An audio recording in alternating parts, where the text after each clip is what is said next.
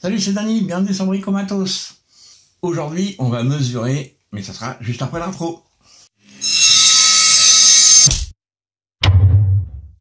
Une société que je vais finir par plus vous présenter, c'est GVDA. Vous vous rappelez ça, notamment? Et puis, euh, puis le petit fer à souder, là. Voilà, et d'autres trucs que je vous ai déjà présentés. Bah, aujourd'hui, ils m'ont envoyé cette bête-là, une pince ampère-métrique. Je vous en ai présenté une il n'y a pas longtemps. Quand on m'a proposé celle-là, ça m'intéressait parce que je voulais voir ce que ça causait par rapport à cet appareil-là. On va pas trop parler du multimètre, hein, peut-être juste à un certain moment pour des questions de comparaison et de capacité. Le modèle, c'est le GD166B. On ouvre la boîte, hein. on va pas faire de chichi. Hop, la boîte, hormis être une boîte, elle sert à rien. Dedans, comme d'habitude chez GVDA, il y a une belle pochette matelassée, super, voyez.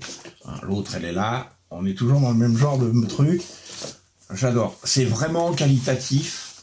L'autre, depuis le temps que je, l'ai, elle a tout pris dans la tronche et ça bouge pas. Dedans, un petit filet à poisson, il y a la doc.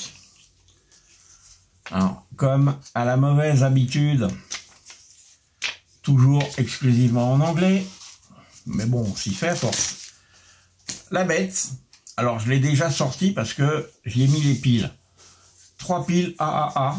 Derrière, ça s'ouvre tout seul, hein, c'est aucun problème. S'il y a besoin, je vais vous montrer quand même.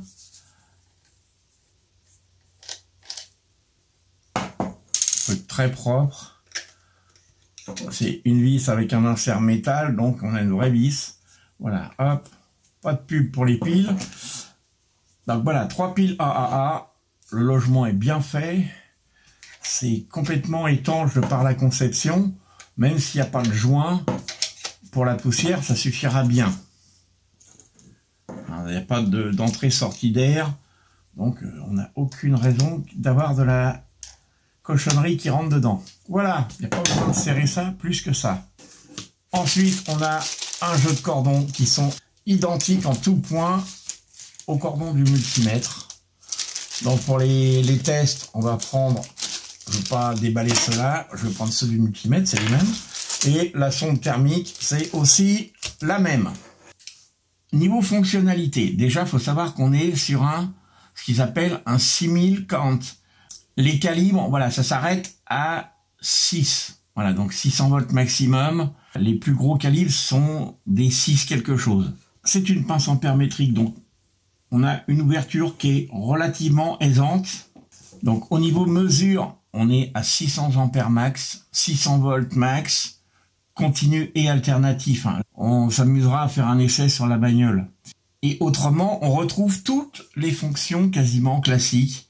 Ampèremètre, voltmètre, ohmmètre, détecteur de continuité, les diodes, un fréquence-mètre, un capacimètre, le thermomètre, et on a toujours l'éternel NCV on va l'allumer histoire de, vous voyez, on commence à connaître ce, signe. Il fait bip bip bip, il est prêt et il se met en mode automatique. Comme vous voyez, en appuyant sur le bouton fonction, on va aller chercher, on passe les différentes fonctions. On va aller se mettre sur euh, celle qui m'amuse le plus. On est en NCV. quand on est en NCV, il donne la température en même temps, ce qui est très rigolo. Vous voyez, ça fonctionne à merveille aucun problème.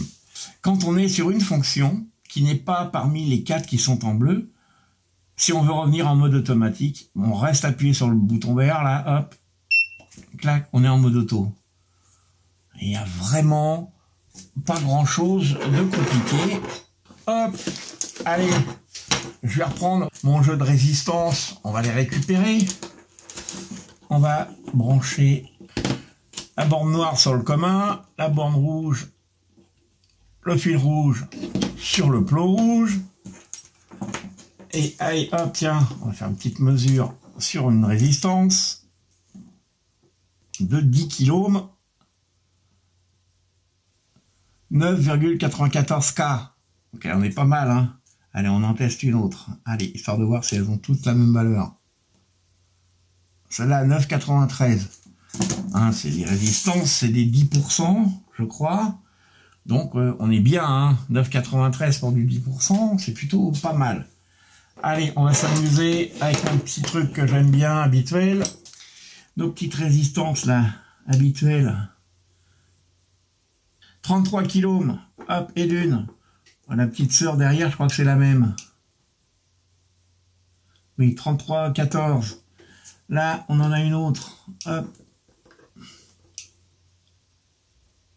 4,7K aussi. Oui, 4,7K. Fantôme, celle-là. Hop. 3658. Oh, pas bon le, le, condo. Histoire de se lever d'un doute, on va tenter de le mesurer là-dessus. Ah, bah je sais ce qui était en panne sur mon alim, entre autres. Hein. 9,90 nanofarads. ah, c'est ballot. Un autre petit condo. C'est censé être un 10 microfarads. Allez, lis. 9,45. Bon, bah voilà, 9,46. Hein, c'est pas des composants de précision. 9,46 pour 10 micros, ça me semble pas si incongru que ça. On va aller faire un test dans l'armoire électrique pour les opérations courantes et surtout pour la pince ampère-métrique. On se retrouve après. Quand vous allumez la machine, vous êtes en auto, on appuie une fois sur fonction, on est en ampère-mètre. On va se mettre en sélection, on va se mettre sur alternatif, AC, et on va venir chercher le câble d'alim. 1 ampère 8. Bon, ben je consomme pas beaucoup, désolé les gars. Quand on est en ampère mètre, si jamais on doit aller chercher la, notre câble loin, voilà, on va admettre que je peux pas la voir mon afficheur. J'appuie sur Hold. Je ramène mon afficheur, j'ai un ampère 8. Voilà. La, la, fonction hold, elle sert surtout à ça. Et j'aime bien parce qu'elle est bien placée. Vous êtes, vous allez chercher votre, votre fil. Hop, vous appuyez sur hold, il maintient la, la valeur, quoi qu'il arrive. Alors maintenant, on va passer à des tests de voltmètre. Allez, on se met. Voilà. En plus, il nous donne la fréquence directement. Voilà, 49,9 Hz. 238,6 volts. Voilà, les mesures courantes qu'on fait dans une armoire électrique, on est à peu près à ça. Maintenant, on retourne euh, à l'établi. Bon, vous avez vu, on est plutôt bien. Je suis super satisfait. Ah oui, j'avais oublié. Ah, le détail ultime, le truc qui tue. Quand on appuie sur le bouton Hold, il y a une deuxième fonction. Pour voir où vous mettez votre pince, ils ont mis une loupiote. Magnifique, non? Sérieusement, ça c'est très bien. On a quasiment toutes les fonctions de ça, mais les capacités sont moindres, sauf la fonction euh, réelle pour laquelle cet instrument a été conçu. La pince ampère-métrique, c'est donc fait pour ça, et où on monte à 600 ampères, ce qui est quand même redoutable. On fait un petit test vite fait sur le gaz dans la bagnole, comme ça on va s'assurer que ça marche aussi en continu.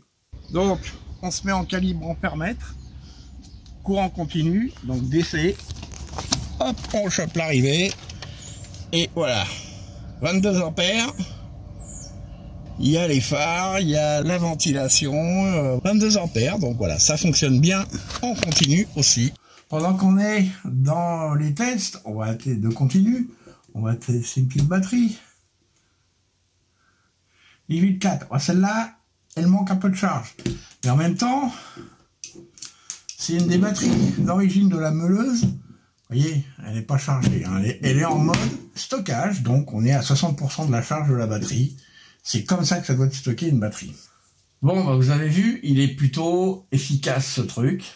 Je m'attendais exactement à ça quand euh, on m'a proposé cet appareil parce que je connais la qualité de leurs produits et euh, vu que l'électronique est sensiblement la même que dans ça, alors c'est une pince intermétrique, à croire que aucune pince intermétrique ne tombe parce que celle que j'avais déjà présentée était conçue un peu de la même manière, euh, donc tout plastique.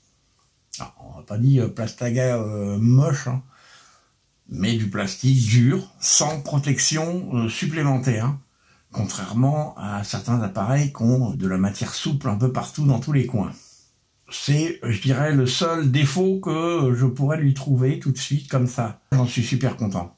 Perso, ça c'est qu'un goût perso, je la trouve mieux que l'autre. Elle a toutes les qualités des appareils de la marque. Franchement, il n'y a rien à dire. Il n'y a rien à dire. Et ça, je valide à 100%. Il n'y a aucun problème. C'est un super appareil. Je vous mets en barre de description tout ce qui concerne ça. Et puis pour ceux qui s'en rappellent plus, je vais vous mettre aussi les correspondances de ça. Comme ça, on, on sera tranquille.